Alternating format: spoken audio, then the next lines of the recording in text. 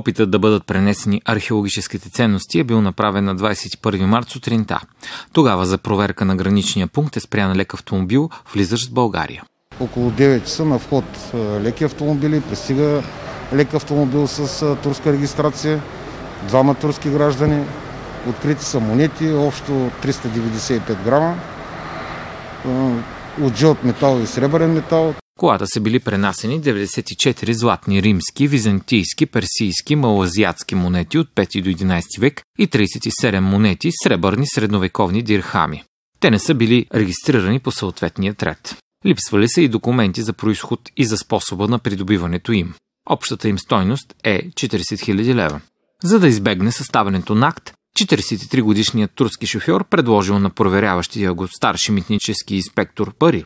Подкупът обаче бил отказан. Служител е от главна дирекция МРР, митнически мобилни групи, стар служител с опит. Подкупа е от 1500 евро. Установено е, че задържаният мъж е закупил археологическите ценности от Турция за 10 000 долара.